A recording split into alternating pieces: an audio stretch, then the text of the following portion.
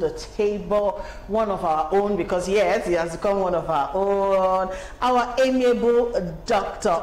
Precious Wagbai, aka Dr. P. Did you think I was going to forget you, I, Alice? I, I, never, I never saw that coming. Good afternoon, Dr. Precious. Good afternoon to our wonderful viewers and good afternoon to Good Lady afternoon P. to you. Yeah. Thank God. Today there is no suit. You are looking Friday-ish on the show. Welcome. I'm sure we have successfully initiated you into the This costume Yeah. is thanks to you. she actually penned me up and did this. So thanks to Oh my Lady P. goodness! You're welcome, Dr. Precious. Hey, hey, you know, let's leave office things. So let's feel free. Eh, yes, Thank now. God it's yes. Friday. You know, that kind of a thing. Welcome. He's Thank the doctor with the swag. All right, Dr. Precious. President Emmanuel Macron gave staff at hospitals, retirement home workers, and the fire service an ultimatum in July to get an to get at least one shot by the 15th of September or face unpaid suspension. Now, according to reports, several dozens had turned in their resignations rather than sign up for the jabs. All right, doctor, this is quite interesting because um, yesterday on the show we're talking about how Edo State government actually, you know, yeah, started enforcing, you know, the no vaccination card, no access to public buildings and all of that. But this is France, you know, 3,000 health workers being suspect, suspended without pay for not getting the COVID-19 vaccine. And rather than for most of them, you know, to actually go ahead and get the vaccine, they are actually sending in their resignation ra- rather than go take the vaccine. How do you rationalize that, especially since it is health workers, doctors, nurses, and people like that who are refusing to take the vaccine? You see, like I said the other time, the narrative has to be changed. Hmm. There is a whole lot of negativity out there about the COVID vaccine. I remember when the vaccine came up, some people were saying it's the mark of the beast. Um, this is how the 666 is going to take place. Some were saying they want to alter the DNA of people. Some were saying they want to reduce world population. I have so many conspiracy theories. Exactly. And um, if you look at it, uh, a country where an awareness has been created, such a thing will not take place, especially with your health workers. When your health workers kick against taking the jab, then it shows that there is deficiency in So you think France is also defaulting in terms of sensitization? I think the sensitization um, a- um, affair is not really prompt as expected uh, because um, if you look at it vis-a-vis, when the people are sensitized, let me shock you. I drove to my father's, I, I placed a call across to my father and I was hearing them driving. I was wondering where this old man was going to. So I just breezed in on him yesterday and I asked, ah, where did you go to the other time? I, I heard you were driving. He said he went to take the vaccine. Now, this was somebody who had told me so many negative things mm-hmm. about the vaccine coming. Mm-hmm. He had his own analysis. But I told him, I said, well, this is what I know, and this is what it is. Okay. And I left. I didn't tell him you must take it, or I just, I just gave him knowledge, mm-hmm. and I left. And two months down the line, he went to take it himself by himself, of his own volition. of his All own right. volition. So okay. um, I think the government of France should create more awareness. And like we said about the Edo State governor, you don't you don't need to shut down on people. You need to create more awareness. Let them know. Ignorance is no excuse in law, but it is an excuse when it comes to personal life. You need to let them know what they are taking. You need to pay their indulgence.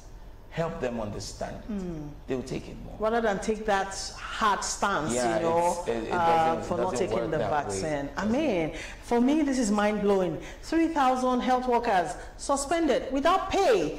And most of them are actually sending in their resignation rather than go take the COVID 19. And that tells you something is a wrong. very strong message. It sends a very strong message. All right. All right. So it, basically what I'm trying to uh, bring out from this is the fact that it's not only in Nigeria or the Nigerian government, yes, who are trying to coerce or persuade people to actually go take the vaccine. Vaccine, even from Obodo Oyibo, where we think you know, Developed countries aha, in they too are having issues with trying to get people to get the uh, take the vaccine. Even in the U.S., you know, they are sort of like incentivizing. Is that the right English? Yes, that's the right they are English. incentivizing. You know, yes. So uh, the people can take it. Yes, And you get some incentives. Yeah. If, if you look at this, so I, I've been queried sometimes in some other stations. Some people will call in and ask questions like, "Doctor, how come Hmm. the vaccine was gotten very fast, yet we've been dealing with HIV for the past and there's no vaccine. and there's no vaccine?" They ask you questions. there's no vaccine for malaria. I'm for telling you, and then you go back and look at it, and then you help them understand. You know, the world was literally coming to an end, so the whole world had to come come together, yeah, to, to work, work on on this. Yeah. something, Yeah. and that's why we have a result to this. Mm. These other things you're talking about will not make the world come to an end. Mm. Do you know that high blood pressure kills faster than HIV/AIDS? If I start explaining and dissecting it, you will understand better. So it's important we understand that the whole world had to work together to put this in place. I don't see this as um, a 666 um, sign. Mark of the beast. I see it as a medical challenge that will be curbed, but um, I still think the government needs to put out more information. Okay. I know there are lots of fears, you know, as to this vaccine. People have different understanding of what this whole COVID-19 thing is and all of that. I have taken my vaccine and I can talk from my own personal experience. Nothing about me has changed as per I've been vaccinated. I was one of the first. I was Do you get like nothing has changed. Nothing sticks to Nothing is shoulder. sticking to my body. I'm not lighting bulbs anywhere. You know, I touch my freezer and everything. I'm not still cook. You're you get like nothing? electricity. Exactly, exactly. So even me, aside from external factors, internally, nothing has changed about me. Not in my reasoning to suggest that perhaps something is interfering with my. Or do you understand? So please go and get vaccinated. Um, and then people are questioning why people who have gotten their vaccines are still getting COVID-19. Yes, um, the vaccine does not uh, sort of insulate you from not um, getting infected if you expose yourself. But what it does is it limits your chances of actually dying, you know, from COVID-19. So wouldn't you rather protect yourself and your loved ones? All right. The best thing to do is safeguard your mouth, your nose, your eyes. Don't touch your men, like I always say. Hmm. M for mouth, E for eyes, and N for your nose. Okay. And Don't be touch men. Yes, don't touch men. Don't touch men. Okay. I don't mean don't touch us. I mean don't touch your mouth, your Yeah, eyes, and your, and your nose. Just keep your hands safe. Keep them in the right um, places. Use your elbow if you need to sneeze. Don't put your hand in your mouth. And observe all those personal hygienes. They will help you a lot. True, true.